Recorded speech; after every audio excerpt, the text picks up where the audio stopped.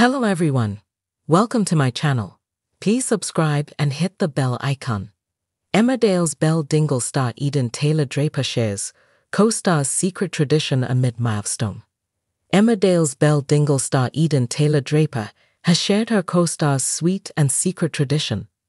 The actress, 26, has played Belle on the hit ITV soap since 2005 and next year, in 2025, she will be celebrating 20 years in the Yorkshire village.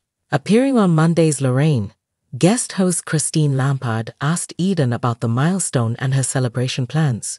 Eden said of her upcoming 20 year ITV soap anniversary I feel like, as the Dingles, we've kind of started this thing where when you get to a big anniversary, you get an engraved bracelet from the Dingles. So I really want, I want that bracelet.